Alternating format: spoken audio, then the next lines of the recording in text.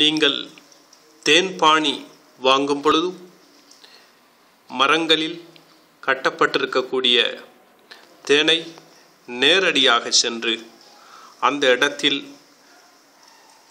தேன் எடுக்கக்கூடியவர்களிடமிருந்து எவ்வளவு விலையை கொடுத்தாவது நீங்கள் வாங்கிக் கொள்ளுங்கள்.